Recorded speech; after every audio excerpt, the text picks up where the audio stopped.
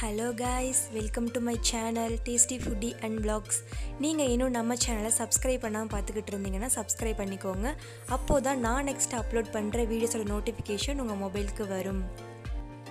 Today recipe ஆரோக்கியமான ஆட்டுக்குடல் recipe எப்படி பண்ணுறதுன்னு இந்த வீடியோவில் பார்க்கலாம். இந்த மெத்தடில் செஞ்சு கொடுக்குறப்போ குழந்தைங்க விரும்பி சாப்பிடுவாங்க. கண்டிப்பாக இது மாதிரி செஞ்சு கொடுங்க.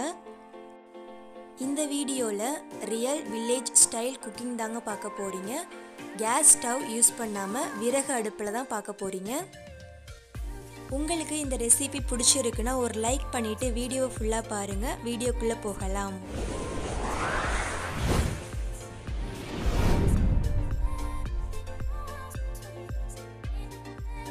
ஆட்டுக்குடல் ரெசிபி செய்கிறதுக்கு தேவையான இன்க்ரீடியன்ட்ஸ் என்னென்னு பார்த்துடலாம் முக்கால் கிலோ அளவுக்கு ஆட்டுக்குடல் வாங்கிக்கோங்க. அதை இது மாதிரி சுத்தமாக க்ளீன் பண்ணி வச்சுக்கலாம்.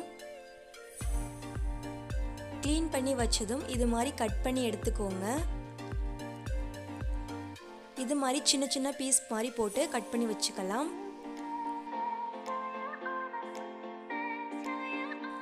இது கூடவே அரை மூடி தேங்காய் துருவி எடுத்துக்கோங்க. ஒன் டேபிள் ஸ்பூன் பெப்பர் எடுத்துக்கலாம். ஹாஃப் டேபிள் ஸ்பூன் ஜீரகம் எடுத்துக்கோங்க.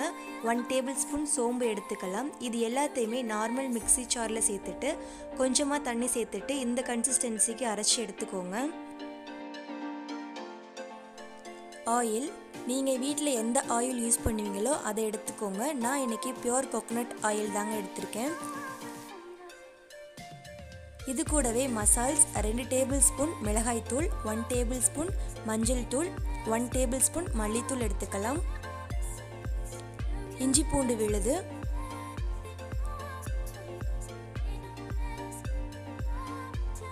இது கூடவே தேவையான அளவு உப்பு எடுத்து வச்சிடலாம்.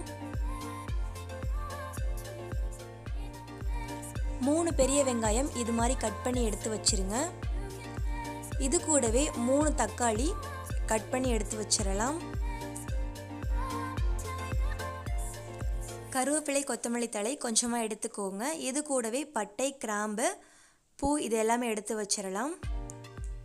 இன்றைக்கி வீடியோ வில்லேஜ் ஸ்டைலில் பண்ணுறனால விறகு அடுப்பில் தாங்க செய்ய போகிறோம் இது மாதிரி அடுப்பு வச்சுக்கோங்க.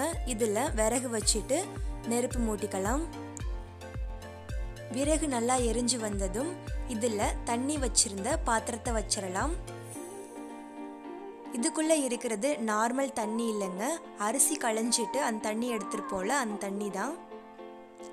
இது எதுக்காக நம்ம சேர்க்குறோன்னா குடல் வேக வச்சு எடுக்கிறதுக்காக இந்த தண்ணி நம்ம சேர்த்துருக்கோம்.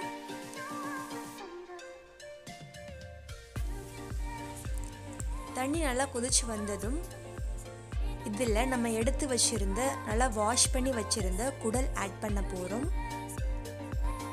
எல்லா ஆட்டுக்குடல் சேர்த்ததும் நல்லா கொதிச்சு வரணுங்க.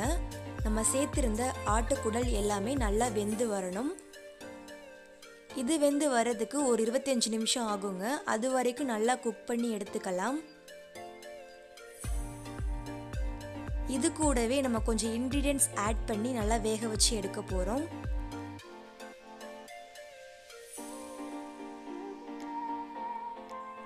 மூடி போட்டு மூடி வச்சு நல்லா வேக வச்சு எடுத்துக்கலாம்.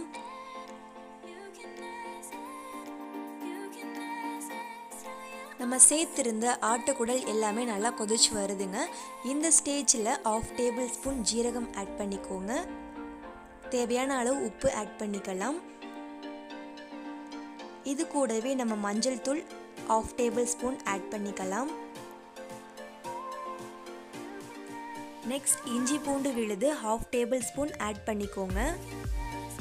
இந்த எல்லா இன்க்ரீடியன்ட்ஸ் ஆட் பண்ணதும் நல்லா வெந்து வரணுங்க.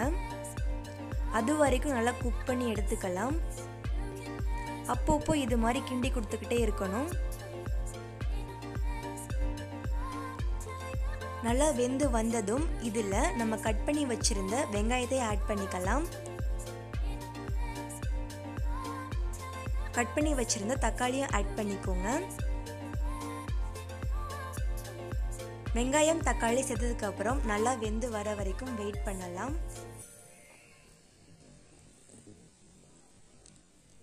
மூடி போட்டு மூடி வச்சு நல்லா வேக வச்சு எடுத்துக்கலாங்க.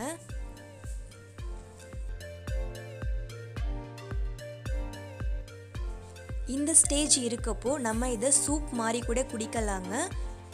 குடல் புண் ஆறும் குழந்தைங்களுக்கு கொடுக்கறதும் ரொம்பவே ஆரோக்கியங்க. கண்டிப்பாக இது மாதிரி ட்ரை பண்ணி பாருங்கள் இங்கே பார்த்தீங்கன்னா குட்டி வெண்டைக்காய் செடிங்க. அதுலேயுமே வெண்டைக்காய் காய்ச்சிருக்கு அதை தான் பார்த்துக்கிட்டு இருக்கீங்க. ரொம்பவே குட்டியாக இருக்குங்க. அதுலேயுமே பிஞ்சு வச்சு காய் வந்திருக்குங்க.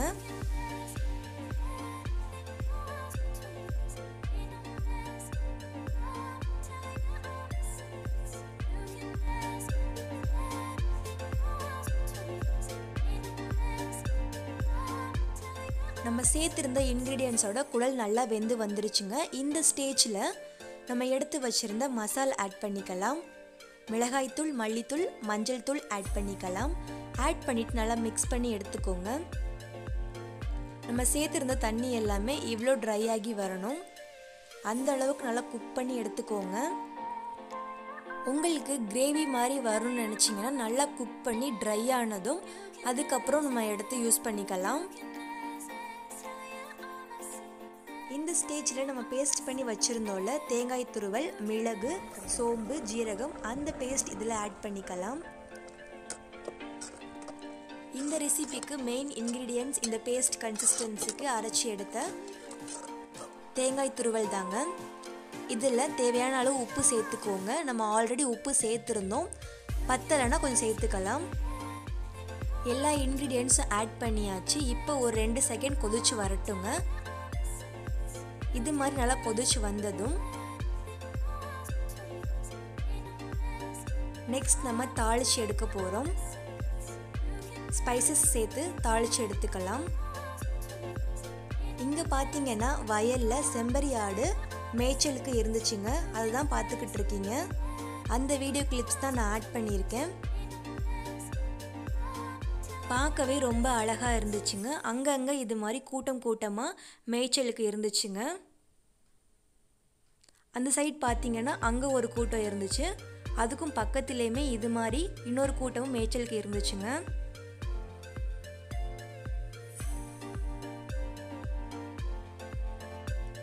இந்த வீடியோ கிளிப் சூப்பராக இருக்கும் பாருங்கள்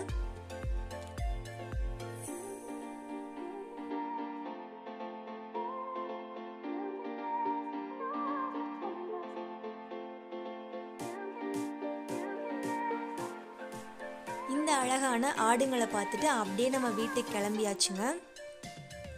இப்போ ஒரு கடாயில் ஆயில் சேர்த்துக்கோங்க. நாலு டேபிள் ஸ்பூன் அளவுக்கு ஆயில் சேர்த்துக்கலாம். இதில் நம்ம எடுத்து வச்சுருந்த ஸ்பைசஸ் ஆட் பண்ண போகிறோம் பட்டை கிராம்பு கொஞ்சமாக சோம்பு சேர்த்துக்கோங்க. இது எல்லாத்தையுமே பொறிச்சு எடுத்துக்கலாம்.